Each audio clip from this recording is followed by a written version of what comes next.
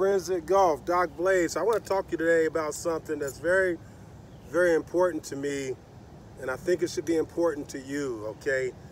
Um, you know, I teach the golf swing from the ground up. I teach it from an anatomical point of view and a functional pattern point of view.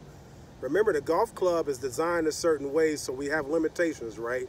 And then our body is designed a certain way, so we need to understand what's the most efficient and effective way is to swing the golf club. And that's what I do. So my, my golf instruction is evidence-based and it's anatomically correct and it's built behind functional patterns, all right? So the reason I say that is to say this. But first, do me a favor. Hit that subscribe button and hit that little bell. That way you'll be notified when my new videos drop. And let me know what type of swing are you working on or what kind of method do you subscribe to. Stack and tilt, rotary, traditional, Ben Hogan, five lessons, Harvey Penick, um, Golf My Way, whatever it is, right?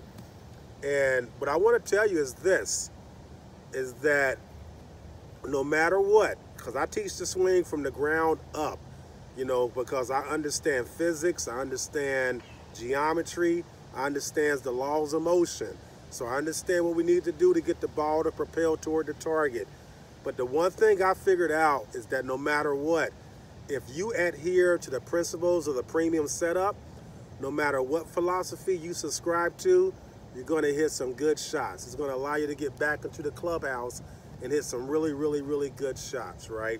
Because the principles of the premium setup, we have more weight pressure on our target side, and we know that all great ball strikers get back to their target side, right?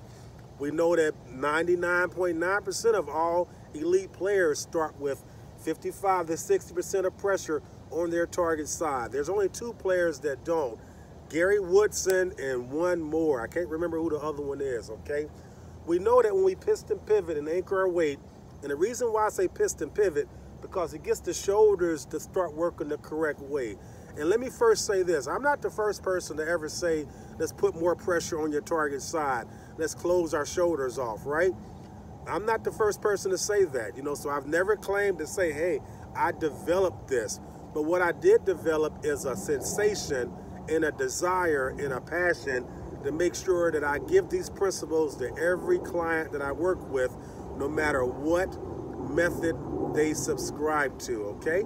We want to make sure that we tilting the shoulders and lifting the arms and we swing it along the body line. That's going to give us that inside the square, the inside swing path that is so desirable, right? With the pressure on the target side, it's going to give us that feeling of playing golf going downhill, like the great Calvin Peete, right? Where you see these guys get that lateral shift, right? Well, we're already over there. So we shifting the pressure to our instep and then getting back over there. Just the pressure. Remember, there's a huge difference between center of pressure and center of mass. Mass is what you see moving. Pressure is what you feel moving, okay? We want as much speed as possible out in front of us. You know why? Because when we do that, we actually release the club, right? We're not holding on. We see so many people trying to hold on and get the flat left wrist, and they're hitting blocks. But when we get that speed out front, we get that full release. Jack Nicklaus said, if you want to learn how to hit a power fade, you need to learn how to hit a draw first because he knew you have to know how to release the club head to start working the ball. So that's why I say the premium setup, the principles of the premium setup will apply to any method, any philosophy that you subscribe to. And I guarantee you it's going to make you a more efficient ball striker, a more effective ball striker, and it's going to lower your scores. That's why I always subscribe to the principles of the premium setup.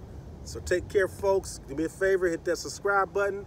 Again, hit that bell, get notified, and leave a comment below. I, I actually respond to every comment in there. So here we go. We're going to tap into all this hard work, right? I'm not going to step into my ball until I'm ready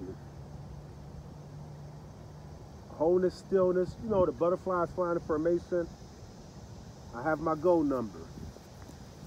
I'm gonna step in with my left hand only, piston pivot, anchor the weight.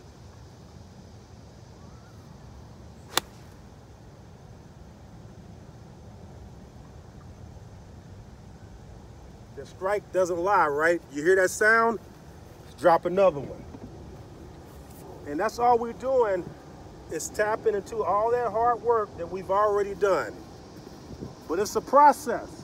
Look at what I do. I want you to watch what I do. I step in with the left hand only. piston pivot, anchor my weight. A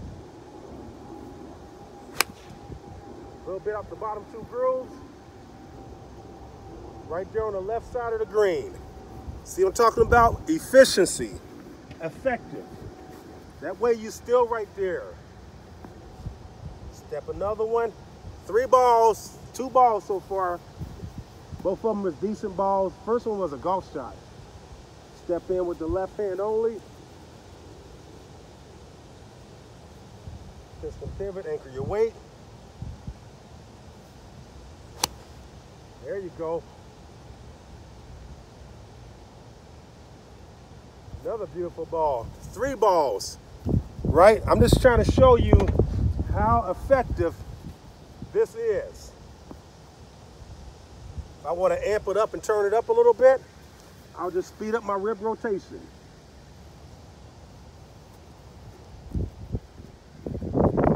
Left hand, piston pivot, anchor my weight. Oh my goodness. That was a beautiful ball, pure draw.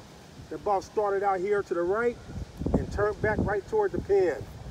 Great shot. But four balls, sticking with the principles of the premium setup.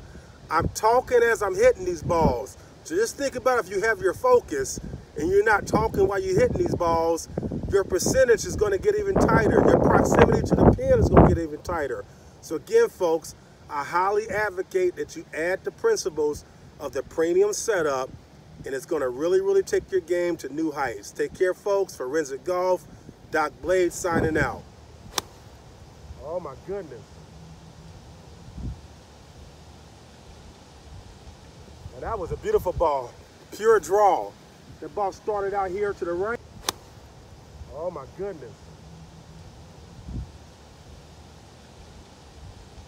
And that was a beautiful ball. Pure draw. The ball started out here to the right. Oh my goodness. And that was a beautiful ball. Pure draw. The ball started out here to the right.